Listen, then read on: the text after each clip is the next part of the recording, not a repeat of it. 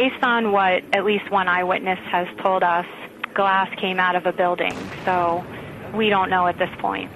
But I can tell you that it, it did sound like two booms, at least two booms.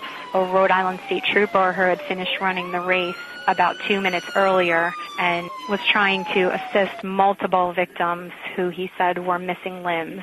So he was with other people grabbing gauze, shirts, whatever they could. We had just I had finished the race and we were heading towards the buses and we heard an explosion. We turned around and we saw the smoke at the start of the finish line, and then we heard another explosion and then there was more smoke. And How much smoke all. was there? Um, enough that looked like kind of an explosion. I mean, the, the whole that whole streetway looked kind of filled with smoke. You could see the smoke. It was a huge It's like pop, pop. Yeah, like and then yeah. and then it was enough time for us to go, and then another huge pop. Everyone that we were around stopped. We all stopped and froze, and everyone turned around. Like the whole area that we were around, we were by the buses. And there was- we just we just passed uh, two volunteers that were two blocks from it, and they You know said what? they told all the volunteers, everyone just to start running, and they stopped the race on the other side. And she said Hold on, people my are definitely called. injured.